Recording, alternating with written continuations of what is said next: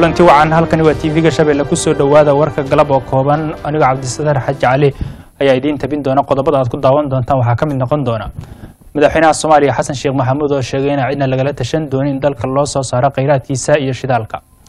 Al-shabaab oo maanta dab qabadsiiyey toolooyin dhowra oo hoos taga degmada maxaas ee gobolka hiiraan. Maxkamadda darajada koowaad ee degmada garowana waxay maanta waxaa maanta la soo taagay wasiiro loo haysto ka ganacsiga geed quwaaxa dibaddana waxaad ku daawan doontaan baydhan oo gaaray dalka ingiriiska warkii oo dhan madaxweynaha soomaaliya xasan sheekh maxamuud ayaa si adag waxa uga hadlay war jawaab ahaa oo dhowaan ka soo baxay maamulka puntland qoraal ka soo baxay puntland ayaa lagu diiday in xilligan la soo saaro kheyraadka iyo shidaalka ku jira soomaaliya.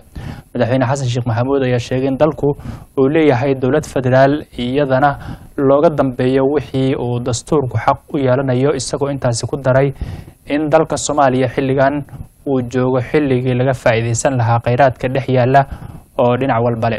Waxaa la joogaa xilligan aan dhammaan ka faa'iidaysan lahayn shidaalku dalku uu leeyahay cid gaar ah taas lagalama tashanayo waana xilka dowladda dhexe ee soomaaliya.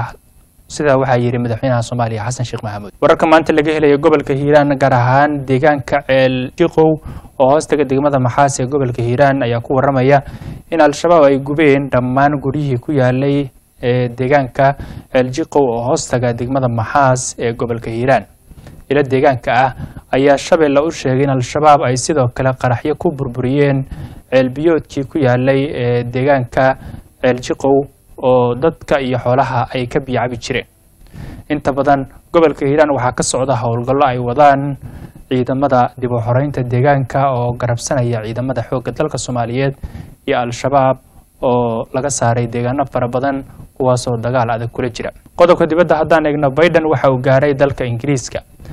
Madaxweynaha maraykanka jo baiden ayaa gaaray magaalada london ee dalka u k ka hor aaska boqoradda ingiriiska elizabeth oo dhowaan geeriyootay waxaa la filayaa inuu baiden ku biiro kingi charles iyo sidoo kale dariish hogaamiyaal kale iyo daraasiyiin hogaamiyaal kale oo adduunka ah oo ka qeybgelaya aaska qaranka ee elizabeth oo ka dhici oo dhici doona maalinta isniinta. Ra'iisul wasaaraha australia anthony albans ra'iisul wasaaraha canada iyo sidoo kale ra'iisul wasaaraha new zealand ayaa ka mid ah madaxda ka qeybgelaysa aaskaas. Inta ayuu ku dhan yahay warka kooban ee tv-ga shabeelle galabnimo nabadino.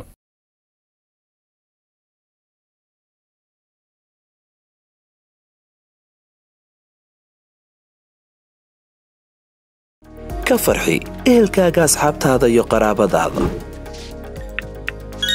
Oo la soo deg abka dahabshiil si aad si fudud lacag ugu dirto marka aad la soo degto ablicathonka dahabshiil ee aad lacag ka dirayso isticmaal koorka khadmad la'aanta ee tree free oo kuu sahlaya in saddexda jeer ee ugu horreeya ee aad lacag dirayso aan wax khadmad ah lagaa qaadin.